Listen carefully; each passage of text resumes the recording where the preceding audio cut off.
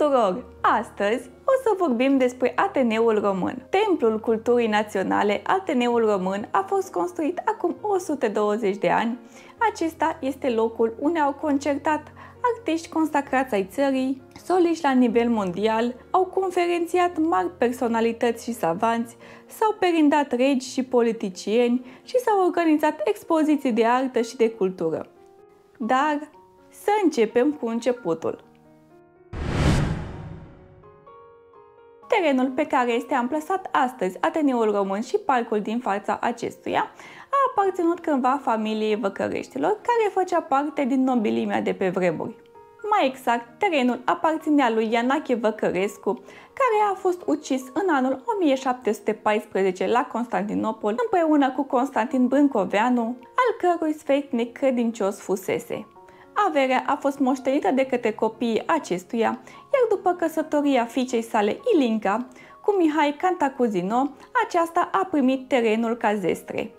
După moartea acesteia, proprietatea a rămas în posesia soțului, care a început să cumpere și alte terenuri din zonă pentru a construi o biserică și un cămin pentru copiii nevoiași a realizat construirea bisericii până în anul 1768, când a fost trimis ca mesager la ruși pentru a cere ajutor în conflictul cu turcii. Acesta a rămas în Rusia, unde a primit gradul de general și a scris istoria țării române și genealogia familiei Cantacuzino, deoarece biserica și grădina acesteia măsurau peste 5.000 de metri pătrați, destul de mult pentru acele vremuri, aceasta a atras atenția conducătorilor de la sfârșitul secolului al XVIII-lea, fiind menționată în mai multe documente de-a lungul timpului. Cu toate acestea, biserica, neavând un venit sigur, s-a prăbușit treptat de-a lungul timpului, devenind un pericol pentru oameni, așa că a fost demolată.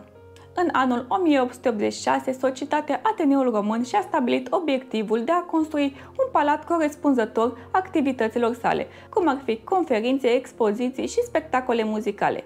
Societatea a primit de la primărie terenul pe care fusese amplasată biserica, dar nedispunând de bani necesari pentru construirea acestuia, a fost nevoită să apleze la donațiile publicului pentru a face rost de fonduri, prin sloganul Un leu pentru Ateneu. Chiar dacă clădirea a fost inaugurată în anul 1888, în realitate construirea acestuia a durat câteva decenii construcțiile fiind încetate în anul 1889 din lipsă de fonduri, după care reluate în anul 1893 și finalizate în 1897, urmând ca între anii 1924 și 1928 să se facă noi adăugări, la care s-au adăugat și alte perioade de reconstruire până la rezultatul pe care îl vedem noi astăzi. Ateneul Român a fost proiectat de către arhitectul francez Albert Galeron, care a proiectat și Palatul Băncii Naționale. În ceea ce privește stilul, arhitectura Ateneului este neoclasică, cu motive și detalii specifice.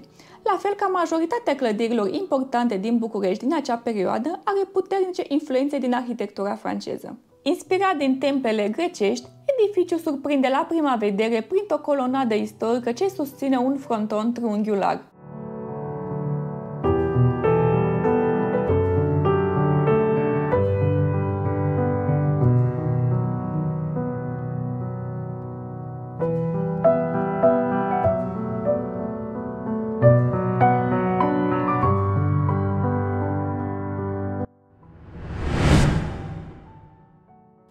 Intrare în Ateneu se află rotonda, care cuprinde 12 coloane dorice, acoperite cu tencuială de stuc care imită marmura roz. Dincolo de rotondă se află monumentala scară din marmură de Carrara, unde este amplasat bustul lui George Enescu.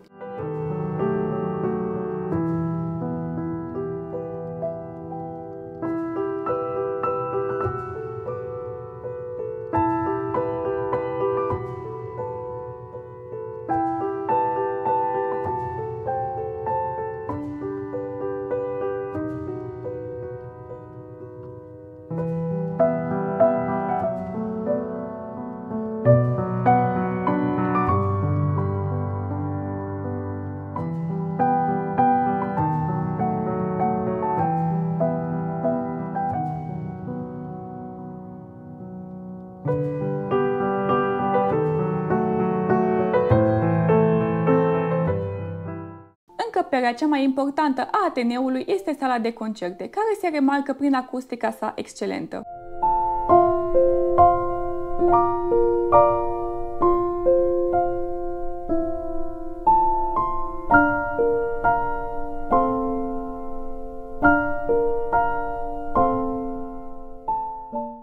Unicitatea acestei săli este dată de fresca realizată de către Costin Petrescu.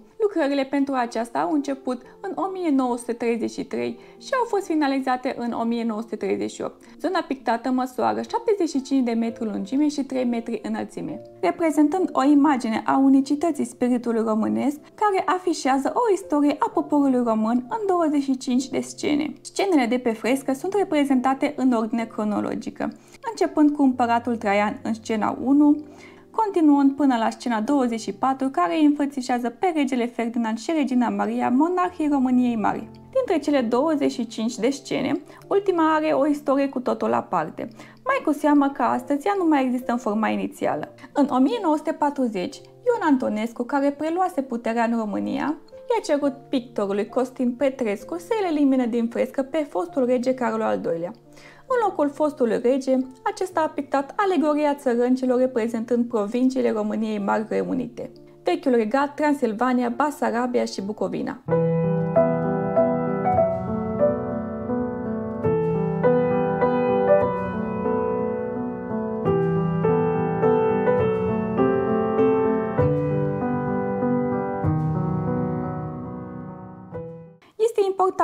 Menționat că medalioanele regelor Carol I și a celor patru dormitori de pe fațada clădirii și fresca au fost acoperite în timpul regimului comunist. Dar, din fericire, nu au fost distruse și pot fi admirate și astăzi. Dacă doriți să vizitați interiorul Ateneului Român, trebuie să consultați programul de pe site-ul Filarmonicii George Enescu, deoarece acesta variază în funcție de spectacole și repetiții. De asemenea, costul unui bilet de intrare este de 10 lei.